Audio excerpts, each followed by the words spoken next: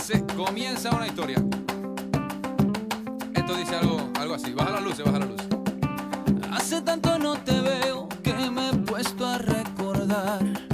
Yo jugaba en patineta, tú ibas de universidad.